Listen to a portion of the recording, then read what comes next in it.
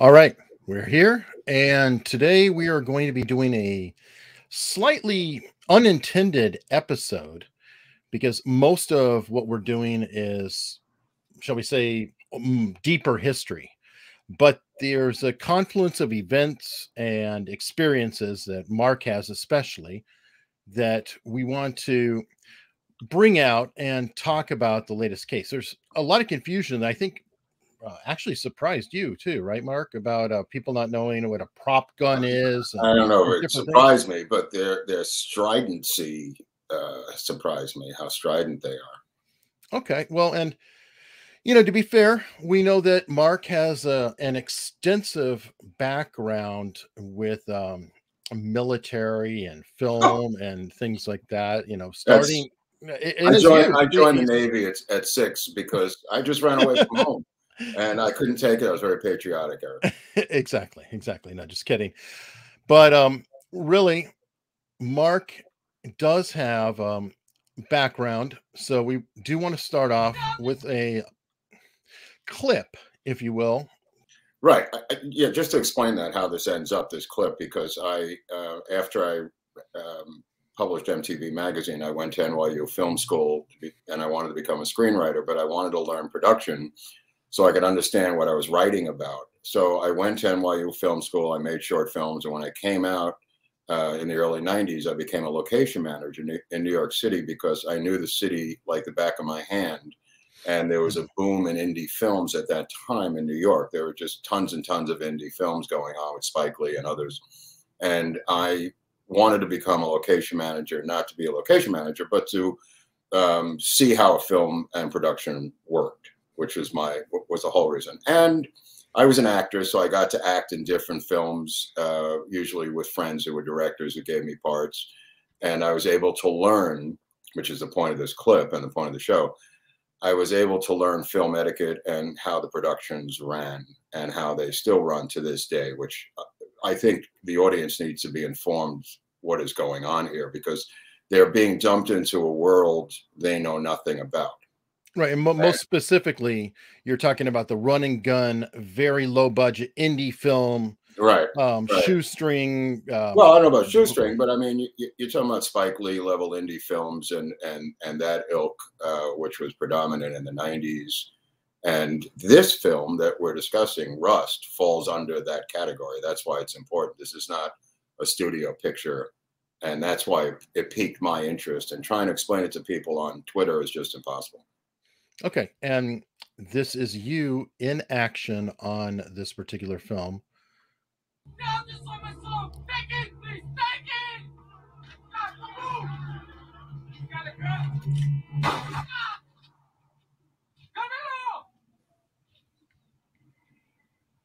Okay, so that is uh, Marco Leonardi, the Italian actor from like Water for Chocolate and Cinema Paradiso.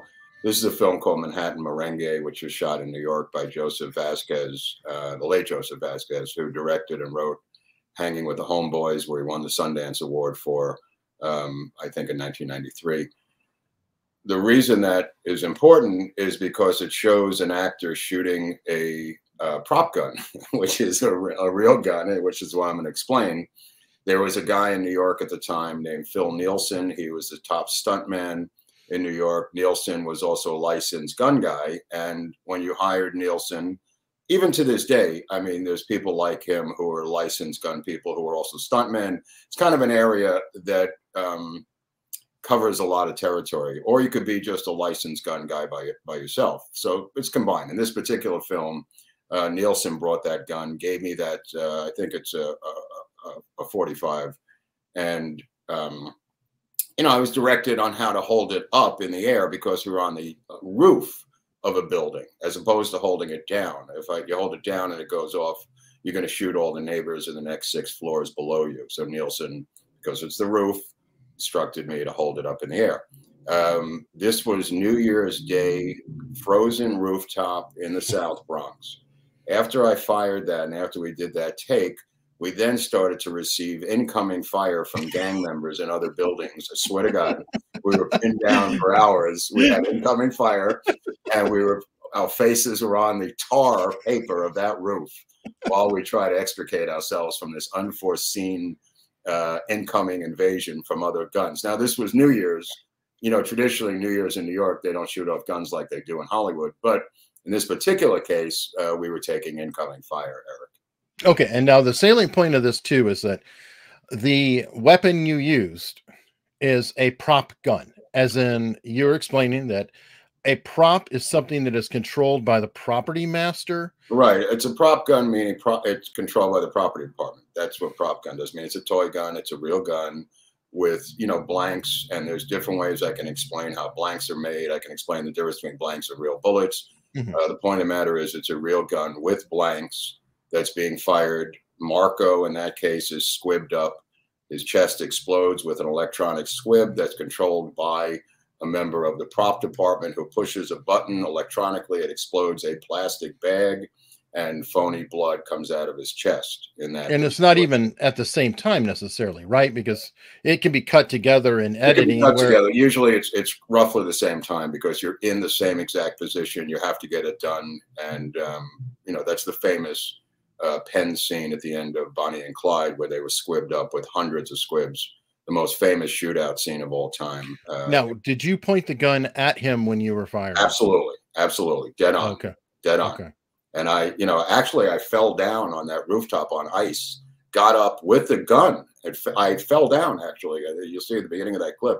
Got myself back up and in hot pursuit fired that gun at him as instructed by everybody, the director, Nielsen, everybody involved. I mean, that was, mm. you hmm. know, the etiquette that was done at that time. The gun was then eventually taken away from me by Nielsen, and we moved on to the next scene. Uh, okay, however, so he handed it to you as well. So yeah, yeah, yeah. Nielsen, there was a right. chain of custody. chain of uh, custody from Nielsen to me, and I think that's relevant to this case with Rust. Oh, absolutely, absolutely. Because it comes down to a chain of custody situation. Uh, Nielsen, no, you know, not that I was an expert at that time about guns at all, but the licensed gun guy was, and you know, mm -hmm. I didn't uh, okay, just so you know the difference. I mean, if I if you have a uh, a 45 automatic, which is what that was, you now have a magazine like you used in the army, right, Eric? Sure. Okay, so you can't look into the magazine and see, you know, the the the dummy bullets in there. What I mean, look what you're looking at. Here's here's the magazine for my Beretta, right? Mm-hmm. Now there's one bullet sticking out on top. This is a 10 magazine uh, for my Beretta, right? and right. you don't know what's below that one bullet right there. Mm-hmm. There's ten, you know there's nine other bullets, right? Sure. So and the chamber can have another. And the chamber could be loaded also. If you have a revolver, like in this case, old Western revolver revolvers, if it has a uh, a cylinder that that pops out, you can spin it and look through and see daylight, or see the back of the uh, dummy bullets. Mm-hmm. If it's a locked cylinder, you can just barely spin it right? And look right. through there. So it's not as easy as people think. You could also be looking at the back of the blank cartridges. The blank cartridge is merely a casing without the projectile on top that has gunpowder and is packed in usually. A wadding, little paper wadding, and well, uh, be paper wadding, styrofoam, uh, could be wax. There's different yeah. waddings, obviously, right? And that does blast. I mean, if you shot that at a can, you would puncture a can from you know five or six feet to ten feet, Eric. Right? There's a, actually there's another variant too in the military for our um, M16s. The blanks were actually compressed. They they were squeezed together like um kind of. Oh yeah, ridged. there's a crimping version Crimp, of that. Yeah, right. and, that's what we had. Right. So, that's that's another way to do it. There's various ways to do that. Right. That's a good point. And this particular, like here, here is a nine millimeter shell, right? Mm-hmm. And then you see the top would be removed. You'd have the casing. You'd have the primer on the bottom. Right. Uh, the primer would be right there. Mm-hmm. And mm-hmm. when you're making these blank cartridges, for instance, today there was a press conference about the um, from the police in Santa Fe. They seized 500 rounds of live ammunition from the set, and the reporters were just going crazy. But 500 rounds of live ammunition in a Western movie, you could blow mm-hmm. through that in a, in a couple of scenes, Eric. You know what I mean? The, that right. live ammunition has to be converted to blanks. Mm. And that can, is usually done in a warehouse off the set or in an indie like this, probably on the set in some building where the girl is working and, and converting them to blanks.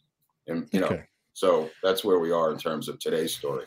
Okay, so now this is where we start to get into some chain of custody and who and what and let me where. just back up on the prop thing because that's still a little confusing. The prop gun thing. Okay, well, as an analogy, I Right. told you this one before and it seemed to work. If I go to the property master and he hands me a golf club, he'll be handing me a prop golf club, correct? It's a real golf club, but it's a prop. right. Same as Sure. a gun. It's just we're using the golf clubs, you know, eliminating confusion. But if there's a a uh, desk, let's say, with a miniature golf club sitting on as a decoration, Or, That or a would be a length, set. a full length golf club, the same one right? that was awarded to him by the mayor, and it's mounted on a board. right, That now becomes a set golf club.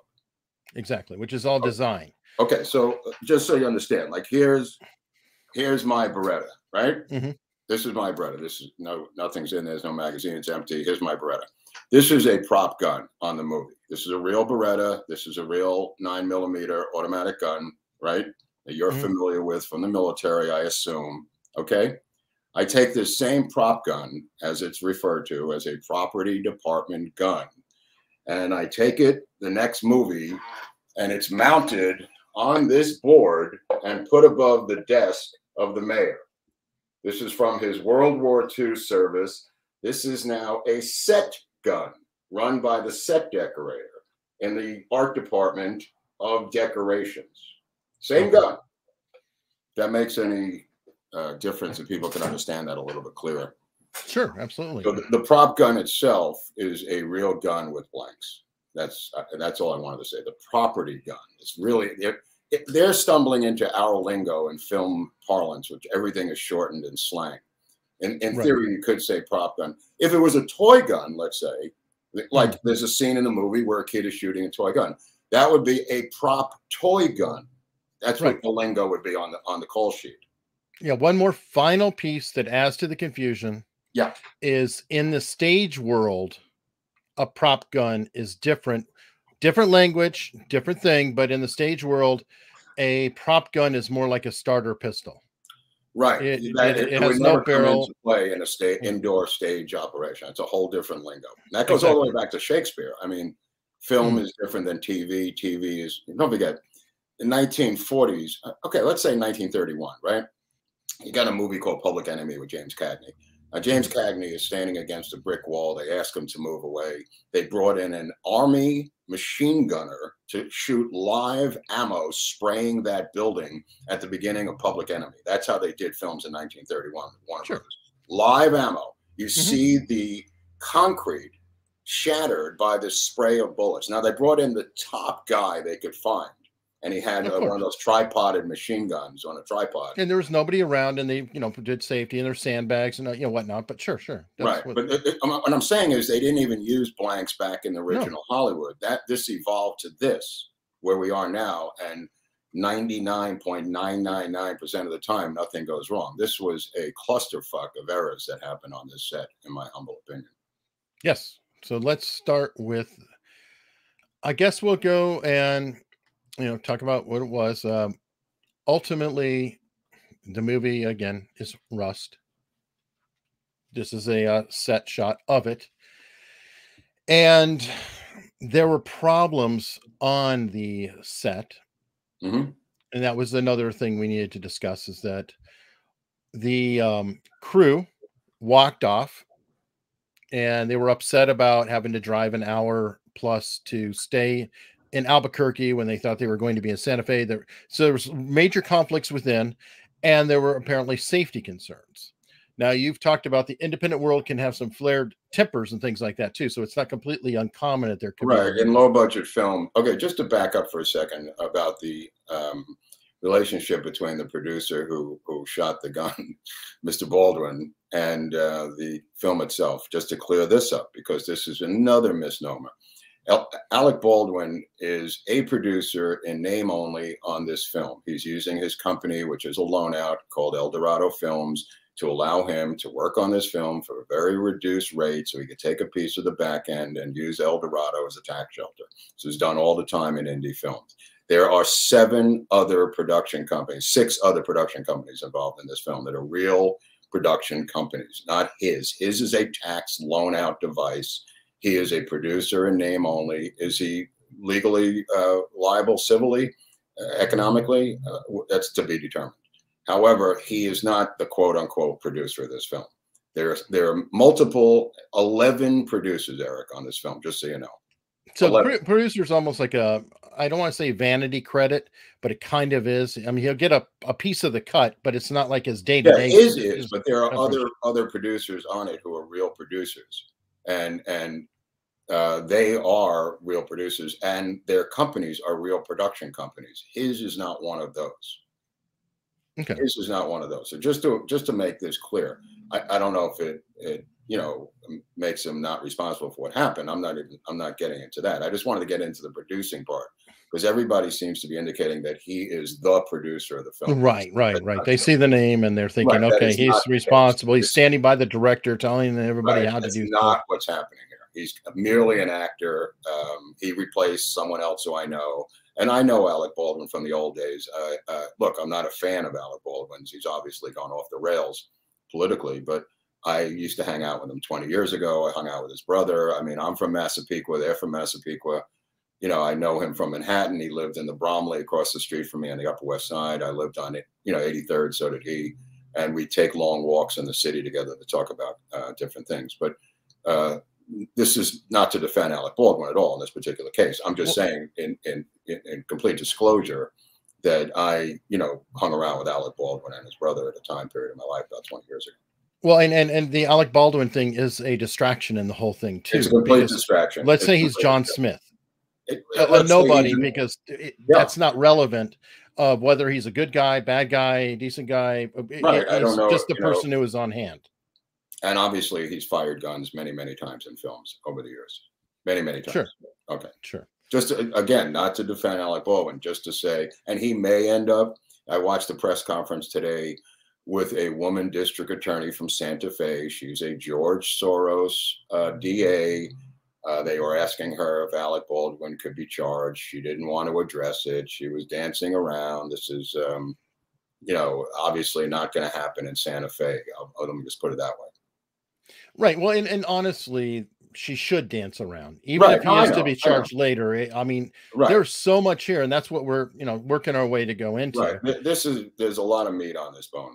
Yeah. So we're gonna um, start off with the person ultimately responsible for handling the weapons, um, storing them, etc.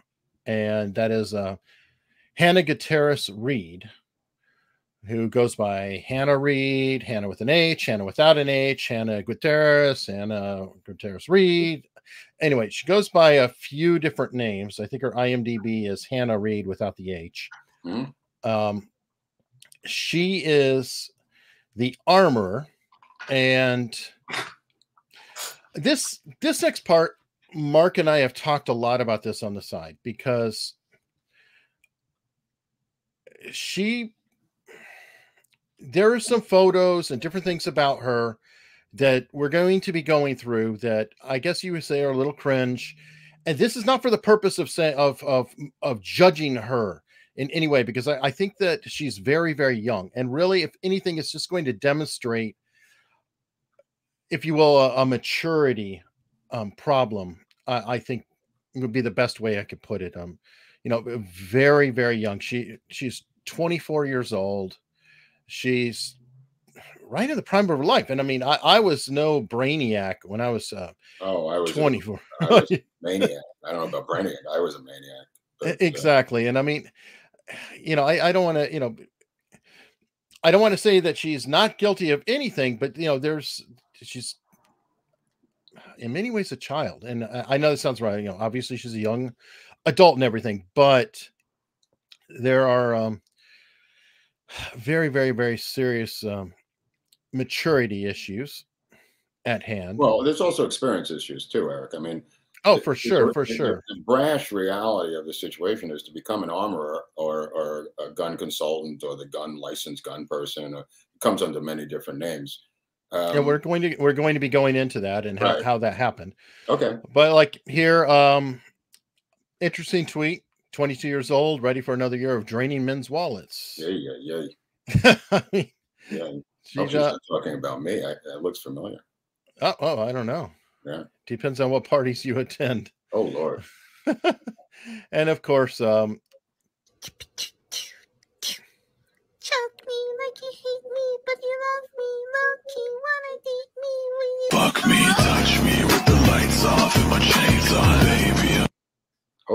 Was that you doing those sounds, Eric? Or that's no, that's that that was the high voice. I thought it was you. That wasn't you. I thought you were doing. That's on the tape. that is her TikTok that uh, has been going around. And I'm um, going to stay off of TikTok. anyway, so I, I'm just saying that she is she's young, Mhm. sowing her oats a little bit, um, a little bit wild, a little bit rumored. You know, that you know she's there's some issues, and why the part of the reason I don't want to pick on her is you can see this is actually from yesterday.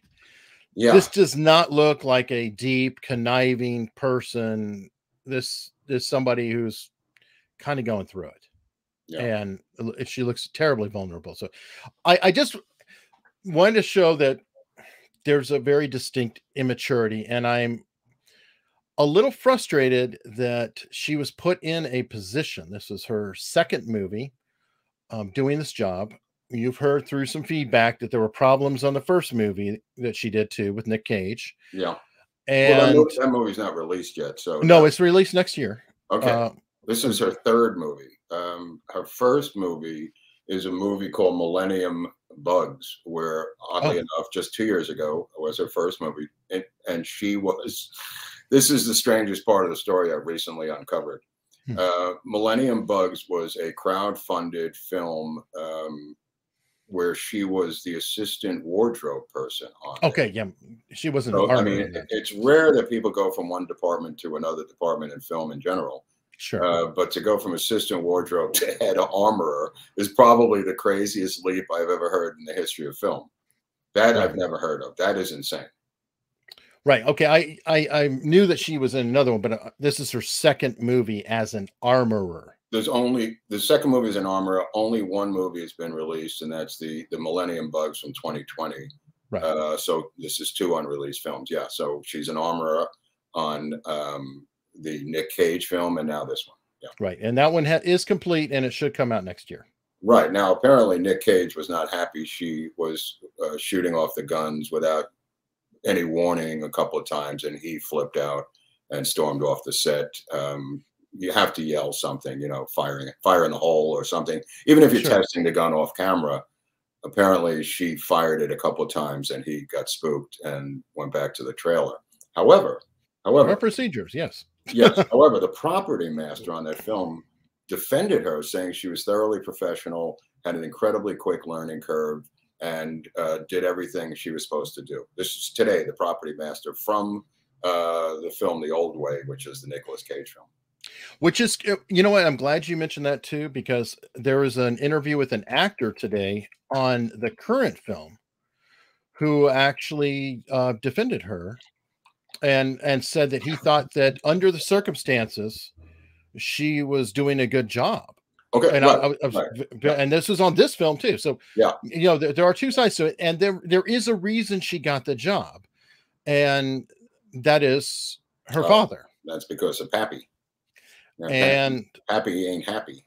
uh no, and Pappy is um the great I think Thell Reed, The legendary Thell Reed, yeah, yeah. and And he he recently, I mean, even you know, uh, once upon a time in Hollywood. I mean, he, he just recently did the Tarantino film.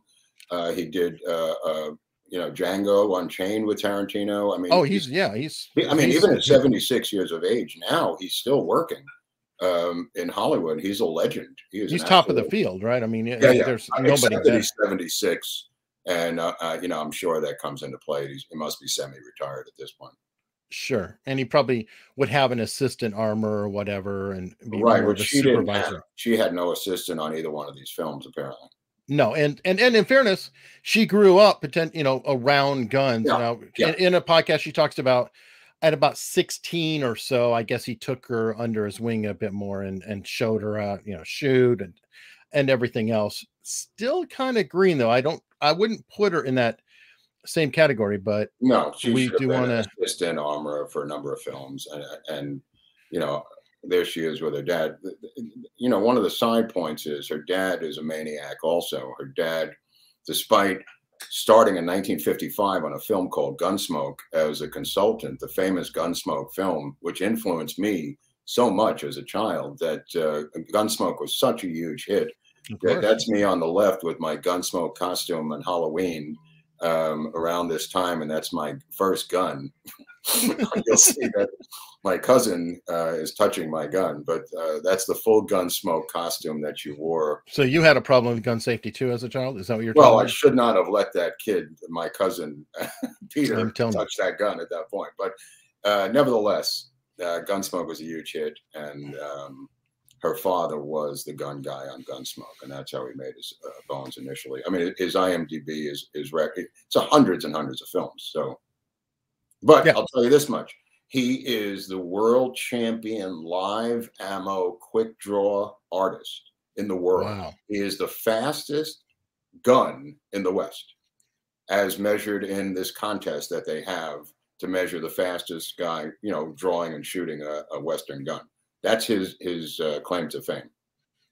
His other claim to fame was, besides these incredible films, he did Tombstone, and and he worked very Sure. closely with Russell Crowe the past twenty years. He's like Mhm. Russell Crowe, personal guy. He also worked closely with Ben Foster on 310 to Yuma, uh, teaching him quick draw art. So when there's a quick draw artist scene, um, they bring him in just to teach how to quick draw in, in general. Now, so uh, Ben Foster worked with him on Yuma. Russell Crowe was on that, but his real claim to fame, which is obscure in the old days, was in the 70s.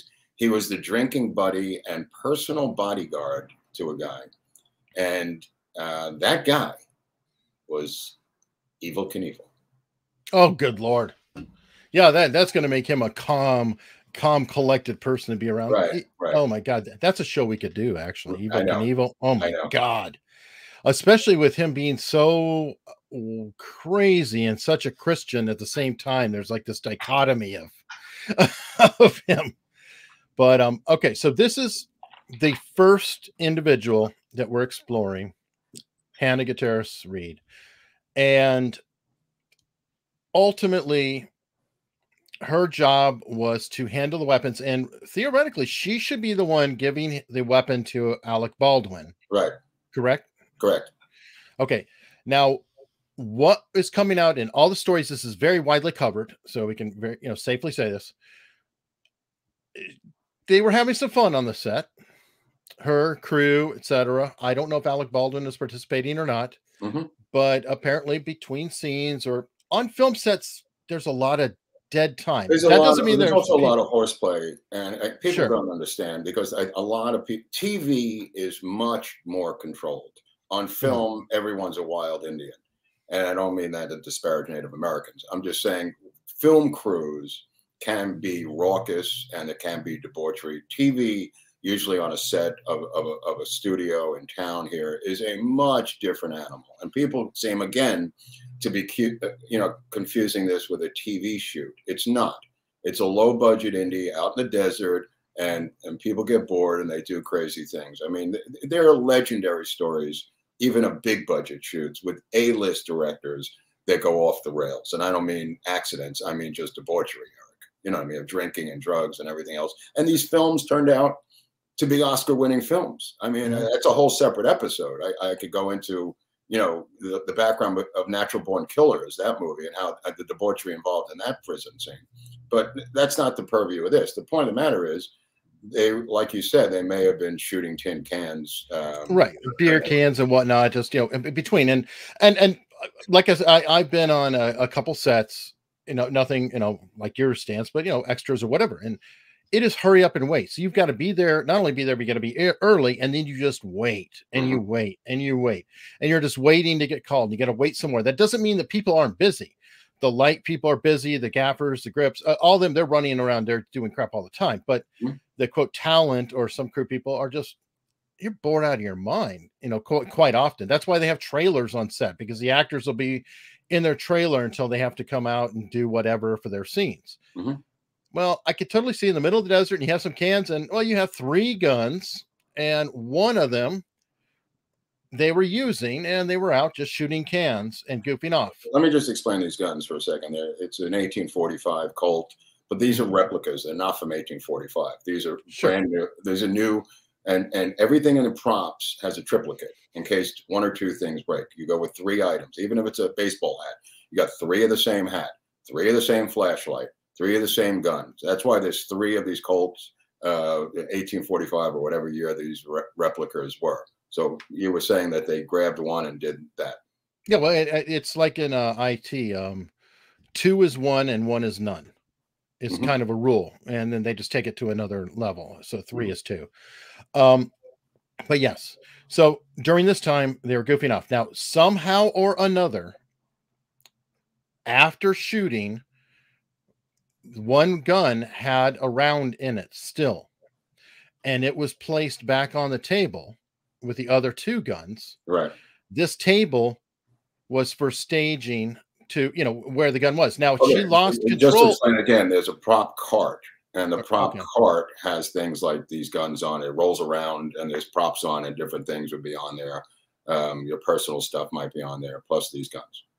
Okay, and her responsibility was to oversee it but she obviously lost track of a th- there a round in there and b was not in control over the weapons on the cart or the guns on the cart Well, let's So- back up. Let's back up even before that, because the morning of that day, the property master, unbeknownst to us, uh, quits. Hmm.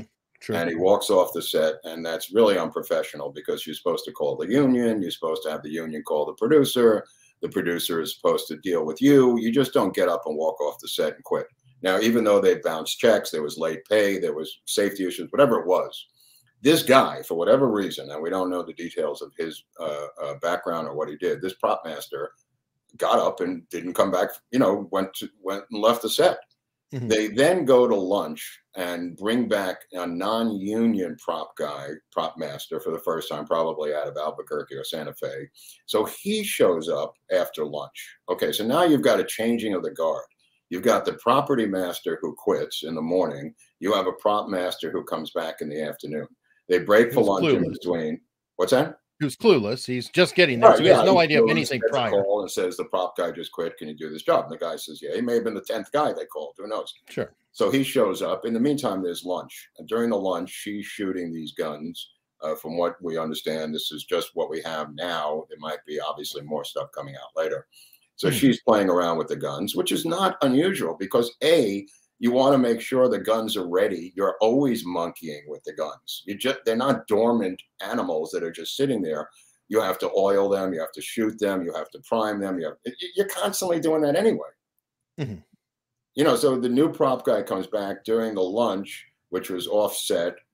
They come back, the whole crew, and now the AD comes into play. Right. So anyway, yes, she had replaced the gun. So, but she's already not in control of this gun because, Well, we don't know what- that. We don't know. that. well, for whatever reason, whether uh, whatever it is, she did not take the gun from the cart and get it to Alec Baldwin. That would be this guy. right. Dave now, this, guy, this guy breaks the chain of custody. However, even that is circumspect because if they're ready to shoot and she's not around, he may, who's he's a veteran AD. This is a guy who's been on a lot of films. He may have just said, We got to go. I don't know what happened to her. I got to make this movie, and I'm going to take one of these three guns that I assume are all three of the same, and I'm going to walk it into Baldwin in that church. And that's what he did. Right now, the um interesting uh interesting trivia point about this guy is it's starting to come out, and I haven't been able to confirm it. Uh, the Sun reported it out of the UK, but that guy was on this set. Uh, that's kind of what I heard. Also, Brandon Lee. I, I have to double check that. I think that uh, is unverified. I'd have to look look. That's that. why I said it. It is from Yeah, the have my- Sun I in the UK. Credits on the 1993 movie The Crow, where Brandon Lee is killed by a projectile of 44. And the problem is that 93 is a long time ago. This guy's a first AD. He very well could have been a PA on the set right and I- had yeah, no I mean, that's- relevance. That's, that's, that's a long time ago. You know, to be an Sure. AD. You know, he. This guy's obviously in his 50s. You know, so I don't know what age he could have been then. That's kind of crazy, but. The but it's out there, and I did want to, uh, Yeah, you know, yeah, yeah, record yeah. it and say uh, I heard it, and also give it the credit. Let me just say this: every AD is a prick. That's the job. You're a nasty, nasty prick. You got to get the film going. It's behind schedule. He, you know, came back from lunch. He's got the property. Ma- this is to defend him. He's got the Mhm. property master who walked off. He's got a girl who's 24, has never done this before. He's got an actor who's waiting in the church, who's an A-list star on a B-list movie, making 10 cents, and this guy has to get this, you know, afternoon shot after lunch. So he picks up the gun, not supposed to do that. Should have been her. She's not around, let's say. And he walks it in. Right. And um, to make a comparison, I mean, the ADs are like a first sergeant in the army, or Yeah. you know, they're like the hatchetmen. Uh, They make everything happen. The, the Right. directors, Again, the assistant director is a misnomer. He's not an assistant director. He's a traffic director. And and the assistant director, again, if you're a civilian, uh, it doesn't explain what he really does. yeah, it's not. It's kind of um, well, it's kind of a shit job. a It- it's a brutal jo- it's a and they have to be brutal they have to be brutal now the question that people in in hollywood are asking is who hired her? Because that's the mm-hmm. real question. We have a lot of nepotism here that's floating around but somebody hired her physically.